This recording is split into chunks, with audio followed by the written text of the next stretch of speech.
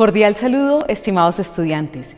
Hoy queremos a través de este video compartir unos conocimientos y unas reflexiones, sobre todo para nuestros estudiantes de la licenciatura en educación infantil. Bueno, y para todos los que tenemos que ver con la educación. Nuestro tema que vamos a abordar en este video es derechos, infancias y familia. En este tema podemos hacer una reflexión en torno a la corresponsabilidad que tienen los actores sociales, la familia, el Estado y la sociedad. Desde una comprensión de las normas legales en el marco de las políticas públicas relacionadas con familia y con infancia, estas como sujetos de derechos. También estaremos brindando unos aportes teóricos que nos pueden ayudar en esa reflexión del sentido y el significado que tiene la familia y las infancias en el proceso de formación integral de los niños y las niñas. Derechos de los niños.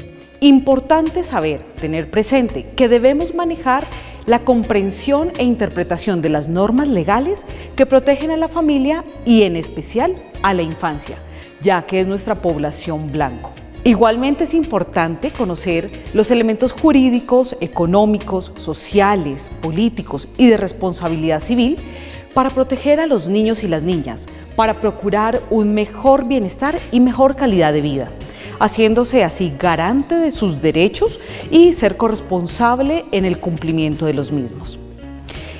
Y también importante para las infancias, tener eh, presente el respeto por los principios que responden a las necesidades vitales de los seres humanos, las capacidades humanas, investigativas, pedagógicas, específicas, que contribuyan con la transformación de las realidades en las que se encuentran inmersos nuestros niños y niñas en nuestro contexto, eh, en los escenarios, en los lugares, en la geografía en donde estamos ubicados. Con respecto a las infancias, el maestro debe tener muy presente que la infancia es un periodo del proceso vital de desarrollo de cada persona, teniendo en cuenta que las infancias tienen una singularidad, pero asimismo una diversidad, y ambas son muy importantes.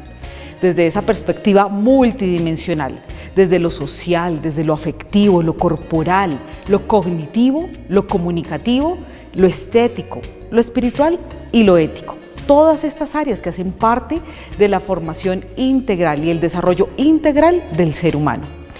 Y todos ellos, estas infancias, en diferentes ámbitos, territorios y escenarios.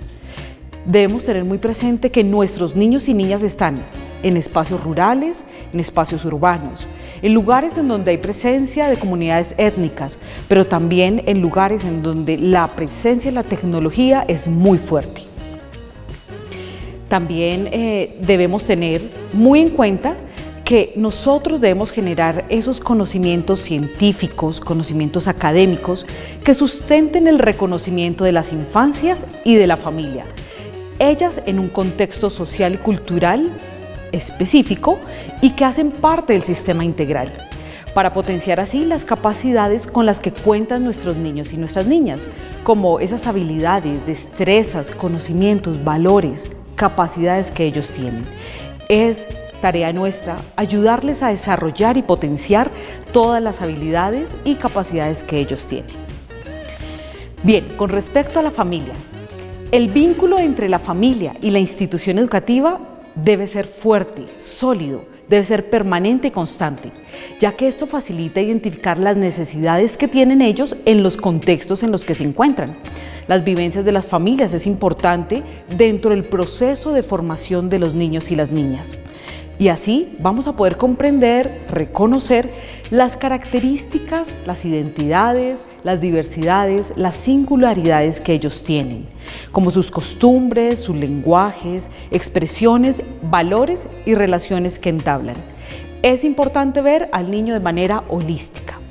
La importancia de involucrar a los padres de familia en el proceso de formación de los niños es porque ellos son agentes activos en esta formación, en la labor educativa. Ellos no están ajenos y no deben estar ajenos a esa labor educativa que hacemos desde la educación, desde la escuela, desde los escenarios pedagógicos para fortalecer esos vínculos que hay entre padres e hijos y también para generar procesos de desarrollo integral, mancomunado a la sociedad, a la escuela y con la protección del Estado.